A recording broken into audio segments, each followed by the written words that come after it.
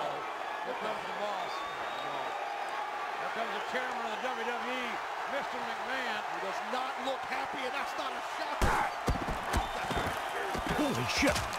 My legs! I can't feel my legs! Mr. McMahon, are you okay? My legs have betrayed me! They'll pay for this!